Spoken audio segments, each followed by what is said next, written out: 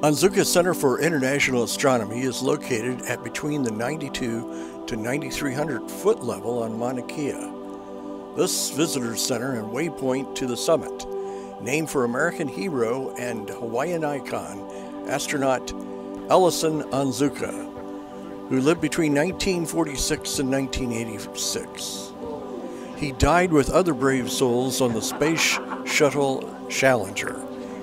He was a native of the Big Island. The main purpose of the center is to find out about weather conditions at the summit before you get there and to acclimate yourself, uh, both visitors and professionals who venture to the top of Hawaii's highest peak. Most visitors come from sea level as the summit approaches 14,000 feet, so when you take a tour, they hang out here for a few hours to get used to the high altitude. I would strongly recommend only taking a tour to the summit. If you run into trouble, they have the experience and know how to get you back down to a sane altitude.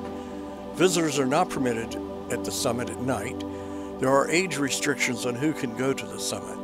They have many programs going on at the Onizuka Center for International Astronomy. You are permitted to visit the center when they have nighttime programs.